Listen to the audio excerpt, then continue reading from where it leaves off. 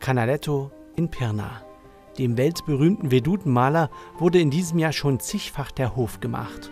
In den Reigen Canaletto 300 reihen sich jetzt zwei Kurzfilme ein, die im Filmpalast Pirna Premiere feierten. Die städtische Wohnungsgesellschaft Pirna hatte die Idee, das Wirken von Bernardo Bellotto in der Elbestadt filmisch aufarbeiten zu lassen. Das Besondere an Pirna ist, ist ja, worauf wir auch sehr stolz sind, dass Pirna sich mit diesen elf Bildern von Bernardo Bellotto in die Reihe bedeutender Städte äh, einreihen kann. Bellotto war in Venedig, er war in Wien, er war in Dresden, er war in Warschau und er war auch in Pirna. Für den Kurzstreifen Canaletto in Pirna wurde Professor Harald Marx, seinerzeit Direktor der Gemäldegalerie Alte Meister, gewonnen. Seine fachliche Einordnung trägt den Film, begleitet vom jungen Canaletto, der sich auf die Stippvisite durch das Pirna der Gegenwart begibt.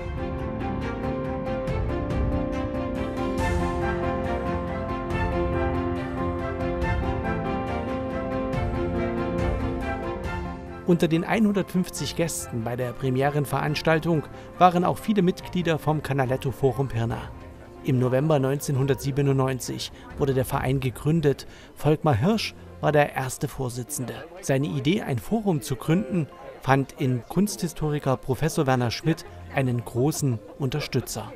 Der größte, äh, sagen wir Reklamemacher für unsere Stadt ist Canaletto, sagte er so überzeugt. Und dann haben wir eben die Schritte, die vorher, vorhin auch ein bisschen gezeigt wurden, auf den Weg gebracht. Und wir freuen uns, dass das nicht eine Einmalaktion, sondern dass das eine Aktion geworden ist, die bis heute eine Ausstrahlung hat, a in der Stadt, aber b auch über die Stadt weit hinaus. Und sowas braucht eine so dynamische Stadt, braucht das auch. Das Canaletto Forum Pirna engagiert sich bis heute in geänderter Formation, aber nicht minder aktiv. Zum 300. Geburtstag von Bernardo Bellotto gab der Verein zwei Kunstwerke in Auftrag.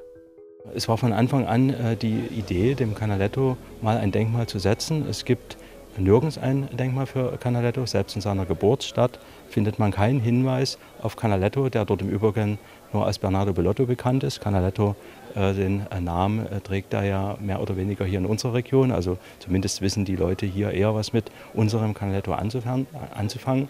Und da es eben noch nirgends ein Denkmal äh, gibt für ihn, war vom Anfang an äh, die Idee des Canaletto-Forums, ihm hier in Pirna ein Denkmal zu setzen. Sorina von Kaiserling fertigte einen Bronzeguss. Die Berliner Künstlerin macht Canaletto in Pirna sichtbar. Die Entstehung des weltweit wohl ersten Canaletto-Denkmals wurde mit der Kamera begleitet, ebenso wie die Schaffung eines Triptychons durch Christoph Wetzel.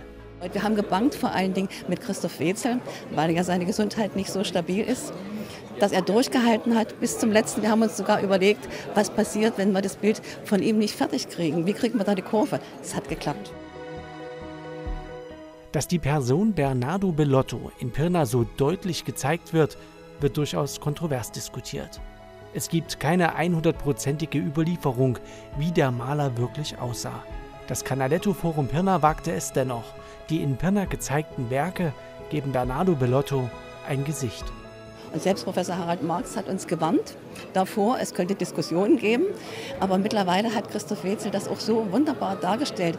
Er, er, hat ja nicht ein direktes Abbild gemacht, er hat sich in ihn hineinversetzt und hat versucht, sein Innenleben auf das Bild zu bringen. Und da es noch überhaupt kein Vorbild gibt, müssen wir eigentlich keine Kritik äh, befürchten. Es gab auch bis jetzt noch keine aus der Kunstwelt und das lässt uns hoffen. Die beiden neuen Canaletto-Filme wurden von Perna TV produziert. Sie werden zwischen den Weihnachtsfeiertagen im Regionalfernsehen ausgestrahlt. Weitere Aufführungsorte sind ebenfalls eingeplant. Und unser Wunsch ist es, sie im Touristservice zu präsentieren. Es ist ja bekannt, der Touristservice wird derzeit umgebaut, modernisiert und Bestandteil dieser Modernisierung ist, einen Screen zu platzieren und auf diesem Screen sollen Informationen zu Canaletto und natürlich diese beiden tollen Filme präsentiert werden. Der Premierenabend im Filmpalast war ein würdiger Abschluss des Canaletto-Jahrs. Die städtische Wohnungsgesellschaft Pirna brachte sich auf vielfältigste Art und Weise in das Jubiläumsjahr ein. Auf Initiative des Wohnungsunternehmens entstanden Kurzfilme, die nachhaltig sind und möglichst vielen Menschen die besondere Beziehung zwischen Canaletto und Pirna näher bringen.